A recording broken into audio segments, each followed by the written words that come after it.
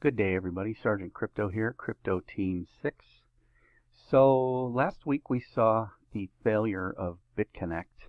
Um, BitConnect, if you don't know, is a lending platform that uh, issued their own coin. They had their own private exchange.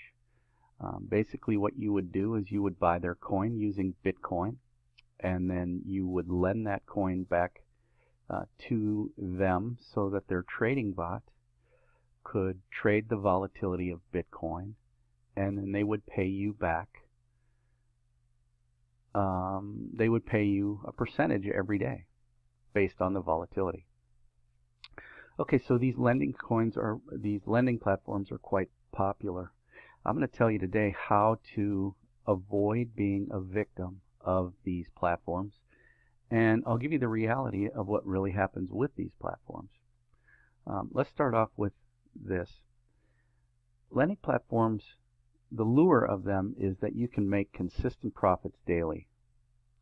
The problem is they have the signature of Ponzi schemes. Now, I'm not going to call them Ponzi schemes directly because people will be just throwing darts and arrows. Oh, this is not a Ponzi scheme. It's not a Ponzi scheme. Well, you know, if it looks like a duck and it walks like a duck and it quacks like a duck, it's probably a duck. So if it looks like a Ponzi scheme, it probably is a Ponzi scheme. But I'll let you be the judge. You might look at a duck and see a dog for all I know. That doesn't matter. The point of this is to understand two things. The first thing we're going to understand is what really happens when you join these lending platforms. Basically, you are asked to take your perfectly good Bitcoin, which has a store of value. That value has been proven over time.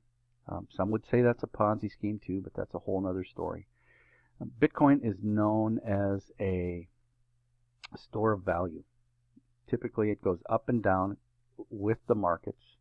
Um, it does have some legitimacy in the United States because regulators now allow it to change, uh, to to trade on as a commodity at the Chicago Mercantile Exchange. So anyways, uh, now our financial institutions can trade on that. So it has a bit of legitimacy. Um, it also has value. It trades on exchanges all around the world. Every exchange that is open has the ability to trade Bitcoin. So Bitcoin has market breadth. Whereas BitConnect um, and these other lending programs, they do not. All right, so let's let's just see what these lending programs look like. This was BitConnect. It went down last week. Another similar coin is called Devor coin. And gee, look, their price of their coin is $98 at the time of this. Here's another one called Hextra coin. Hextra coin, wow, they had a big market spike here. Wonder how that happened. Boy, they must have a lot of people moving into this one. Here's another one called Falcon coin. Falcon coin is an investment program with lending. Here's a brand new one. This one's got a lot of people excited. They're all into this ICO. You buy them for 50 cents. They go up to 10, 20, 30 bucks. You loan your coins.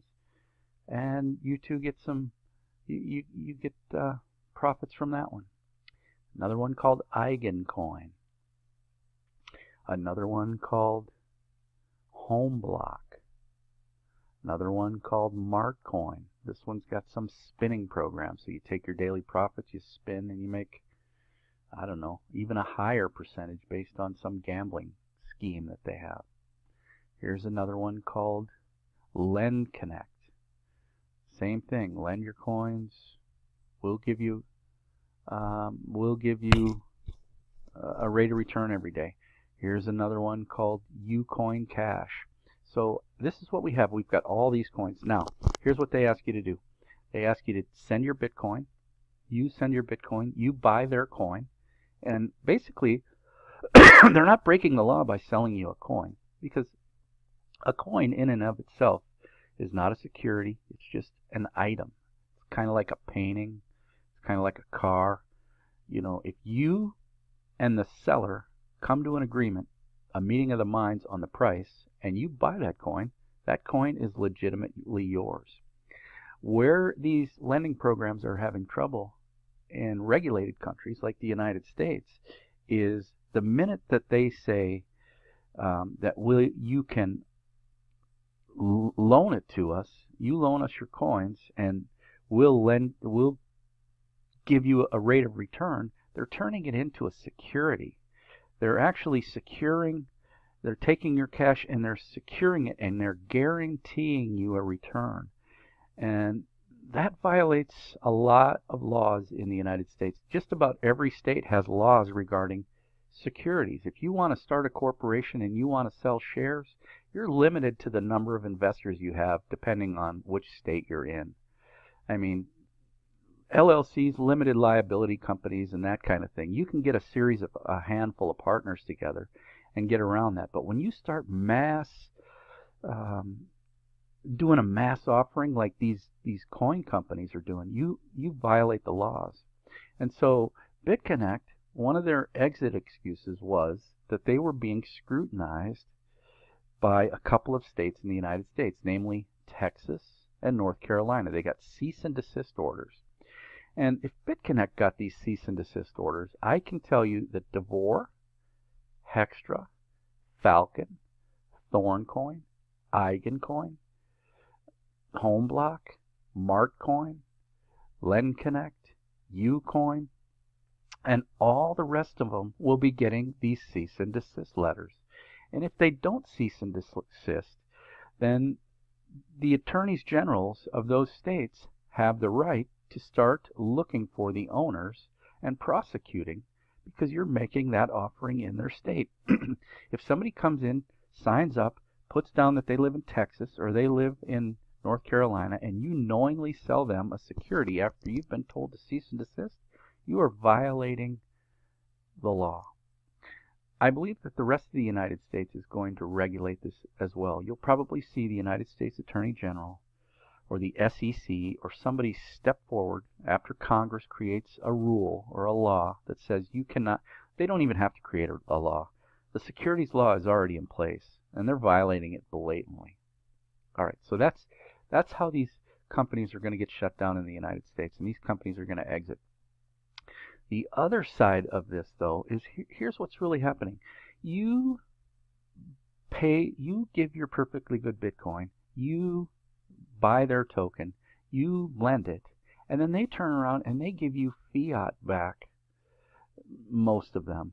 Meaning this, you get you don't get Bitcoin back. You paid for it with Bitcoin, but they give you back US dollars. And then they force you to buy their coin, which is manipulated on their market, most of them being closed, and then you can convert it to Bitcoin. Well, what BitConnect did was they when they closed their doors, they just arbitrarily took a price. Their price was steadily declining. It got down to about 200 bucks. It went from 400 to 200 or 350 to 200 or something like that. And then they arbitrarily assigned it a price, gave you your coins back, converted the loans back to those coins, told you to take them, put them in your wallet, and go to the exchange, and you're on your own a lot of people said, oh no, they're going to find utility value. Well, these lending programs, once they lose their lending platform, their lending, their loans, there's nothing else to do with them. You can't go to the store with them. You can't buy anything with them. They have no market acceptance anywhere except as speculation. And once the utility value is gone, speculators drive them to zero. So let's assume for a minute you're involved in Davor, you're involved in Hextra, you're involved in Falcon. You've been taking your profits from one and going to the next and to the next and to the next.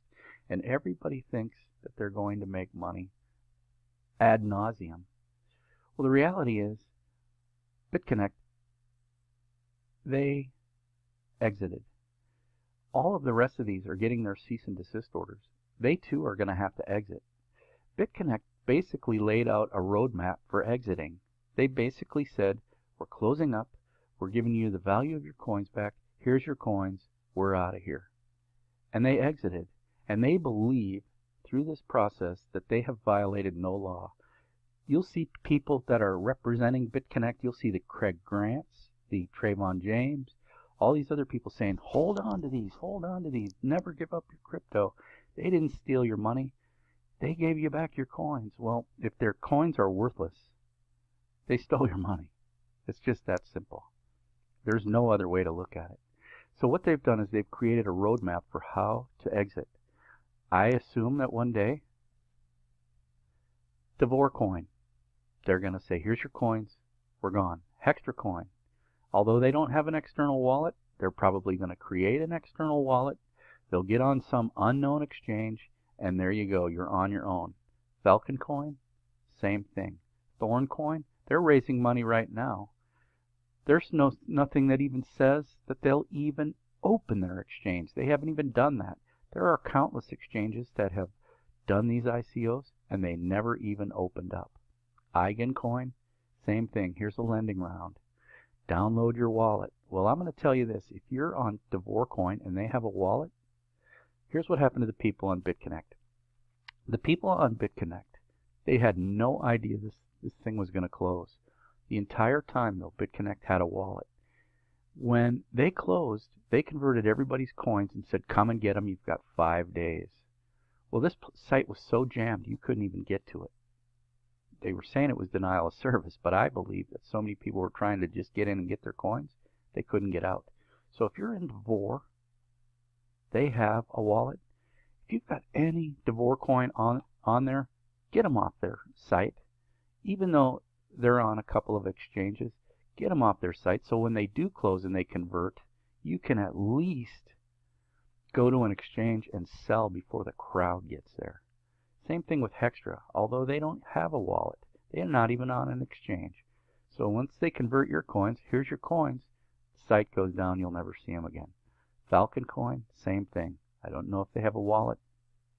Thorn Coin, we don't even know if they're going to open. Eigen Coin, they got a wallet. If you've got coins on there, download them. Get them into your possession so at least if they go down, you can try to salvage your losses. Homeblock, I don't know. I heard that they had some problems. I'm not a member of Homeblock. I'm not a member of these, so I don't know.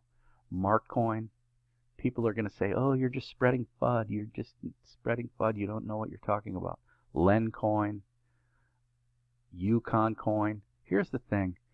If you're trading with an exchange, it's like trading. Let's assume that the United States didn't have any regulation for stocks, and you could buy and sell Apple or Google or whatever, but the only place you could buy it from was Apple or Google, whatever. When you get closed exchanges like that, there's a lot of room for manipulation. So these prices that we're seeing, Dev, you know, how do we know $98 is, is the true value? And then once they close, you'll know that it's not the true value. You're not getting your Bitcoin back. You're going to get DAV back. You may or may not be able to exchange back into into Bitcoin. But it would seem to me if a lending program was true to its word, you would get in, you'd buy their coin, you'd lend them, and they'd pay you back in Bitcoin. Why make them go back through DAV? And it's simple, because the more DAV you buy, the less supply there is, and the higher it goes, until the bottom falls out. Once the bottom falls out, we saw uh, BitConnect. It went as high as 400 bucks. Look at it now. It's 18. There are thou there are millions of coins out there. People are holding them. They're saying they're going to BitConnect X is going to come back. It's not coming back. None of these. Devore, Hextra, Falcon, Thorncoin, Eigencoin, Homeblock, Martcoin, Lencoin, Ucoin. If you're in all of these programs, here's what you need to do. Download a wallet. Get the coins in your possession. Find out what exchanges they're on, if they're on any. Sign up for those exchanges and continue to connect, collect your profits. The longer they, you're able to collect, the more you're able to draw out and draw out your money as fast as you can because these are going to go down. You can mark my words. Today is January 21st, 2018. The chances of any of these being open after this BitConnect failure at the end of this year, I'm going to say, are 1%.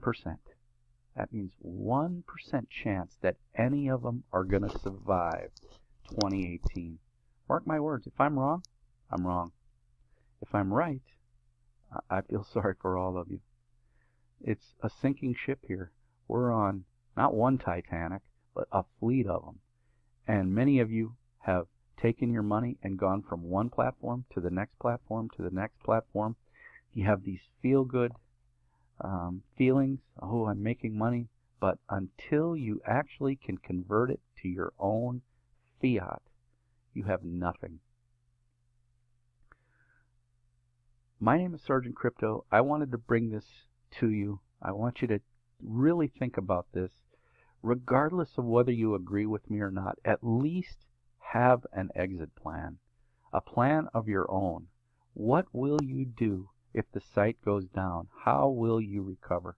The only way to protect yourself is A, to physically have the coins in your possession, and B, have a way to liquidate them when the ship starts leaking. When the ship starts leaking, you better be liquidating. Because by the time it's halfway down, it's done. You're done. You're done. Those I, I, I saw people on BitConnect with million dollar worth of loans. They turned over all the Bitco BitConnect coins to the owners. The owners are saying, hold on for dear life. They got a million dollars worth of loans that were converted to Bit uh, BitConnect coin. And now those values at, at, at 18 bucks, you're lucky to get 20 grand, but 30 grand, 40 grand. I would say take your money and run. Run. Liquidate it at 18. If you're still going to hold, you're going to hold it all the way down to 10 Satoshi. And nobody wants to do that. I'm Sergeant Crypto here with Crypto Team 6. I hate to be the bearer of bad news, but Trevon James, Craig Grant, all of them, they took their coins, they converted, they milked this thing for all it was worth, and they're off on their own. They're not destitute. It's all these little no-name people right here in this picture who are holding the bag. Don't be a bag holder. I'm Sergeant Crypto here, Crypto Team 6, out.